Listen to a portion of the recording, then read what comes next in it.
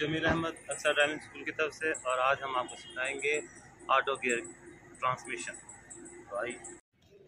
अस्सलाम वालेकुम। Auto gear में आपके पास दो ही पैडल मिलेंगे, एक एक्सीटर का और एक ब्रेक का। ये दूसरे वाला पाँव आपने कभी भी इस्तेमाल नहीं करना। हो सकता है आप मैनुअल गाड़ी चला रहे हो और आपको आदत हो क्लच दबाने की तो आप कोशिश कीजिए कि जब ऑटो गाड़ी चलाने लगे तो अपना पाँव हमेशा यूँ रख लिया करें। ये देखिए, ऐसे। ताकि आपको वो जो क्लच दबाने वाली आदत है, वो आप जैसे पाँव निकालने लगोगे क्लच दबाने के लिए तो आपको याद आ जाएगा ये तो ऑटो गाड़ी है। तो इसलिए बेहतर है कि अपना पाँव शुरू में ऐसे रखिए, जो मैनुअल गाड़ी चलाते हैं। जो ऑटो भी चलाते हैं, उनको पता होगा कि ये हमें यही पाँव इस्तेमाल करना है। अब ये ब्रेक है और ये रेस है। अब हम इसको ब्रेक पे पाँव रख कर अब हम मैं आपको गेयर की तरफ़ लेके चलता हूँ। तो यहाँ पर हम आ जाते हैं। इसके गियर को समझिए। पी पार्किंग हमने ये वाला बटन पुश करना है। ये वाला बटन पुश करने के बाद पार्किंग है, ये रिवर्स है, ये एन है न्यूट्रल है और इसके बाद ड्राइव है। ये ड्राइव एस तो ये गियर का इनका लगाने का तरीका। अब इस तरह पार्किंग करके हम छोड़ेंगे और ब्रेक से पाँव उठा लेंगे। ठीक है? जब भी आपने आना है गाड़ी में बैठना है तो हमेशा आप कोशिश करेंगे कि अपना पाँव ब्रेक पर रखेंगे। ब्रेक पर रखने के बाद ये है हमारे पास इग्निशन स्विच। ये हम इसको ऑन किया, तमाम लाइटें ऑन हो गई, उसके बाद हमने इसको स्टार्ट कर लिया ये स्टार्ट कर अब इसमें दो तीन चीज़ें हैं जो मैं आपको दिखाना और समझाना चाहता हूँ। ये मीटर्स के अंदर लाइट लगी हुई है, ठीक है? तो अब यहाँ पे आप देखिएगा कि ये कौन कौन सी लाइट्स हैं। ऐसे दरअसल से करीब कर लेते हैं ऊपर वो गियर का बता रहा है कि आपके पास पार्किंग है। तो नीचे वाली लाइट है, वो एक हैंड ब्रेक की रेड लाइट जल रही है और दूसरी जल रही है, मैंने देखा हैंड ब्रेक नीचे कर दी तो हैंड ब्रेक की लाइट बंद हो गई। तो अब हम मैं इसको पी से आर पे ले आया हूँ तो ये आर पे चलेगी और इसी तरह इसको एन पे लेके आया हूँ तो वो एन की लाइट जलाएगा। इसी तरह मैं डी पे लेके आता हूँ तो वो डी की लाइट जलाएगा, ठीक है? तो अब हमने पाँव इस पर अब मैंने पी पे कर दिया, पाँव हमारा ब्रेक की तरफ़ है। हमारी गाड़ी स्टार्ट हो चुकी है, ठीक? और उसके बाद हम आते हैं, इसको ये बटन पुश करते हैं।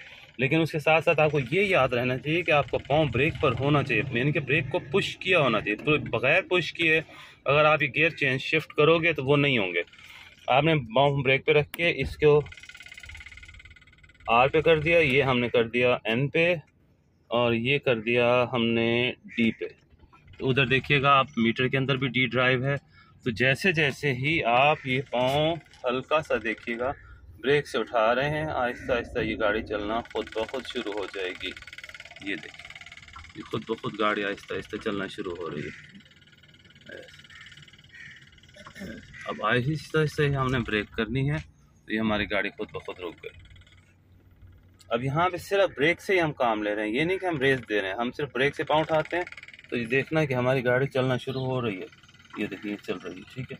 जैसे ही हम पाँव ब्रेक पे रखेंगे, गाड़ी रुक जाएगी। हमें रेस देने की ज़रूरत नहीं है। रेस हाँ उस वक्त दी जाएगी जब चढ़ाई पे गाड़ी हो या ऊँची जगह पे चढ़ाने के लिए हो तो वहाँ पे ये ज़ोर लगाने के लिए आपसे रेस मांगेगी। तब आप रेस दीजिए। नहीं तो जैसे सीधी सड़क पे आप खड़े हुए हैं तो वहाँ पे सिर्फ़ आपको सिर्फ़ रेस ही देनी पड़े क्लच ब्रेक से ही पाँव उठाना पड़ेगा। तो अब देखिए, अब मैंने ब्रेक से पाँव उठाया और फिर उन्हें ब्रेक से फिर रोक दी। तो ये था हमारा ऑटो गियर सिस्टम इसी में ही वो एसी का सिस्टम मैंने आपको बताया था कि हम ये एसी चला रहे हैं तो हमें पहले चलाना है हमें फ़ैन फ़ैन को एक नंबर पर चलाएँगे और उसके बाद एसी का बटन पुश करेंगे। ठीक, हमारा एसी ऑन हो गया। अच्छा वही इसी तरह की वही लाइट जो मैंने आपको कहा था कि एमरजेंसी लाइट कहलाती है तो ये देखिएगा आप, इसमें दोनों एरोज़ अंदर चल रहे हैं। ठीक है तो ये हमें लाइट आ गई। और इसी तरीके से ये कूलिंग सिस्टम और ये अगर इसी नोब को इस साइड पे ले जाएँगे तो ये हीटिंग सिस्टम पे आ जाएँगे, ठीक है? और ये चीज़ें आ गई गियर का मैंने अच्छा अब इसमें एक खसूसी बात ये है कि अब आप ठहरना चाहते हो, कहीं रुके हुए हो तो अभी आपकी गाड़ी डी पे है और आपने गाड़ी की चाबी से चाबी से इसको बंद कर दिया है, वापस आओगे। फ़र्ज़ करें मैं आपको करके दिखा देता हूँ। ये देखिए, अब ये मैंने ना डी पे थी मैंने बंद कर दी। अब आया हूँ और मैंने डी पे है वो। इधर ट्रांसमिशन मेरी डी पर है और मैं स्विच लगाता हूँ। कोई भी लाइट नहीं जल ज, लाइटें जलेंगी कुछ भी नहीं होगा।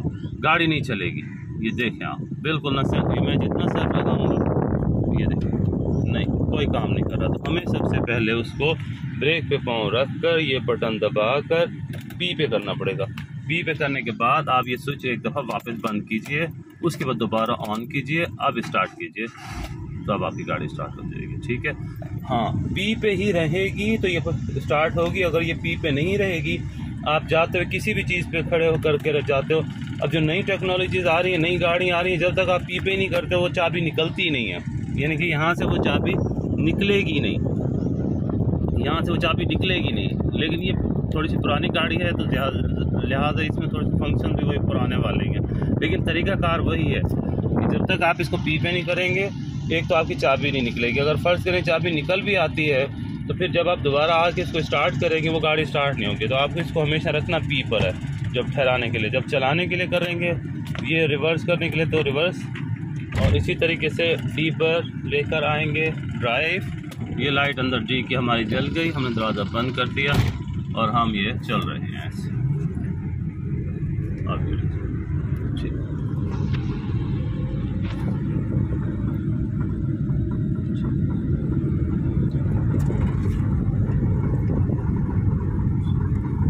पाँव ब्रेक पर रखना है। बस इधर उधर देखना है। अब पाँव ब्रेक को छोड़ के आप आराम आराम से रेस देते जाएँ और गाड़ी अपनी चलाते जाएँ। ठीक है। ये सामने हमारे बहावलपुर शहर का रेलवे स्टेशन है। बिल्कुल नूर महल के तर्ज पर इन्होंने बनाया है और बहुत खूबसूरत स्टेशन है। पंजाब के रेलवे स्टेशनों में से एक खूबसूरत खूबसूरत स्टेशन बहावलपुर। Railway station. उसकी आप इमारत देख रहे हैं। तो अब जैसे ये चौक आ गया है तो हमने सिर्फ़ पॉम ब्रेक पर रखा हुआ बेटे, दिखाइए ब्रेक सिर्फ़ पॉम ब्रेक पर है। कुछ भी नहीं कर रहा मैं। सिर्फ़ सामने की ट्रैफ़िक दिखाई उधर की। है अब देखते जाएँ, सिर्फ़ पॉम ब्रेक पर है। कुछ भी नहीं कर रहा। अब अब मैं दौड़ाना चाहता हूँ, सामने दिखाइए। अब मैं दौड़ाना चाहता हूँ तो मैंने ब्रेक से पाँव उठाया और ये रेस दे दी। ये मेरी गाड़ी चल अब मैं रुकना चाहता हूँ, फ़र्ज़ करें किसी भी चौक पर। अब ये चौक पर मैं रुक रहा हूँ फॉर्म ब्रेक की तरफ़। ये दे ऐसे अब ये मैं रुकते रुकते रुकते रुकते मेरी गाड़ी बिल्कुल रुक गई। बिल्कुल रुक गई। ये देखिए ये गाड़ी बंद नहीं होगी। मैनुअल में बंद हो जाती है, क्योंकि जब तक हम क्लच नहीं दबाएँगे तो बंद हो जाएगी। अब ये मैनुअल नहीं है, ये ऑटो ट्रांसमिशन है तो इसलिए ये बंद नहीं होती। ब्रेक पे ही इसका सारा कंट्रोल है। ब्रेक छोड़ेंगे तो ये गाड़ी चल पड़ेगी, और ब्रेक दबाएँगे तो ये गाड़ी रुक पड़ेगी। सिर्फ़ आपको एक एक दफ़ा में आपको उसको शुरू में एक ऑप्शन देना है ड्राइव का रिवर्स का और उसको चलाने के लिए, ठीक है? लेकिन जब आप रुकेंगे घर, आके कहीं जब गाड़ी पार्क करेंगे तो वहाँ पे आप इसको पार्किंग में इसको कर देंगे। ये पार्किंग ये पार्क अब हम जा सकते हैं, हम ब्रेक से पाँव उठा सकते हैं। पार्किंग का फ़ायदा सिर्फ़, फ़ायदा ये है कि जैसे हम हैंड ब्रेक खींच देते हैं तो ये तकरीबन यूँ समझिए कि ये पार्किंग में आने के बाद हैंड ब्रेक खींची होती है इसकी। यानी कि यूँ समझिए, ये कहीं नहीं जाती। अगर ढलवान पे भी आप पार्किंग खड़ी करके जाते हो तो यूँ समझिए कि इसका इंजन फिट इसके टायर नहीं चलेंगे। लेकिन अगर आप इसको ये न्यूट्रल पे खड़ी कर देते हो तो यूँ आप कोई भी धक्का लगाए, कोई कुछ करे तो गाड़ी खुद ब खुद आगे पीछे हो सकती है। मैं आपको करके दिखाता हूँ, ये हमारा ऑप्शन एन पर है। मैं इसको थोड़ा सा आगे पीछे करता हूँ। देखिएगा, गाड़ी खुद ब खुद बेटे, आप उधर दिखाए ये देखिए, ये चल रही है, ठीक है? एन पे दिखाइए। ये खुद ब खुद चल रही है, ठीक है? अब हम चाहते हैं ये ना चले, यानी कि इसको हैंड ब्रेक लगी रहे तो हम इसको पी पे करेंगे। ये पी पे कर दिया। आप देखिए, मैं इसको धक्का लगाता हूँ, कुछ करता हूँ तो गाड़ी का इंजन के साथ ये स्टॉप हो गई, अब नहीं चल रही। ना ही पीछे की तरफ़ जाएगी। यूँ करें यूँ समझिए कि इसको हैंड ब्रेक लग सकता अब आए हैं हम। हम दोबारा से आकर इसको पी से ड्राइव पे करते हैं। ड्राइव पे करने के बाद और हम चला देते हैं ये।